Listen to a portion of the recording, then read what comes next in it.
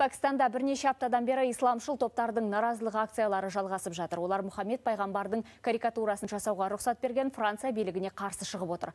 Өткен күні осындай шерулердің бірінде лаңкестікке қатысы бар деген айыппен Техрик ик Лабиак исламшыл тобына тыйым салынып, оның лидері тұтқындалды.